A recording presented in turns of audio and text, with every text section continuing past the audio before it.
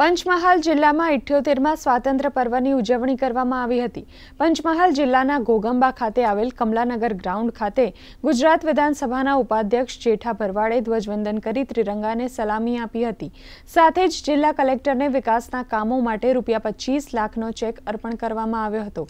સાથે જ જિલ્લામાં ઉત્કૃષ્ટ કામગીરી અને વિશિષ્ટ સિદ્ધિ બદલ અધિકારીઓ, કર્મચારીઓ અને રમતવીરોને પ્રમાણપત્ર આપી સન્માનિત કરવામાં આવ્યા હતા.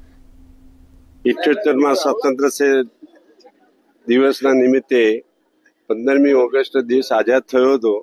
એ દિવસની આજે ધામધૂમથી ઘોગંબા મુકામે ઉજવણી કરવામાં આવી છે અને ઘોગંબામાં જિલ્લા વહીવટી તંત્ર, તાલુકાના તમામ કાર્યકર્તાઓ, જિલ્લાના કાર્યકર્તાઓ, તમામ વહીવટી તંત્રના અધિકારીઓ સર્વે હાજર રહીને ઉલ્લાસપૂર્વક આજે સ્વાતંત્ર્ય દિનની ઉજવણી કરવામાં આવી છે.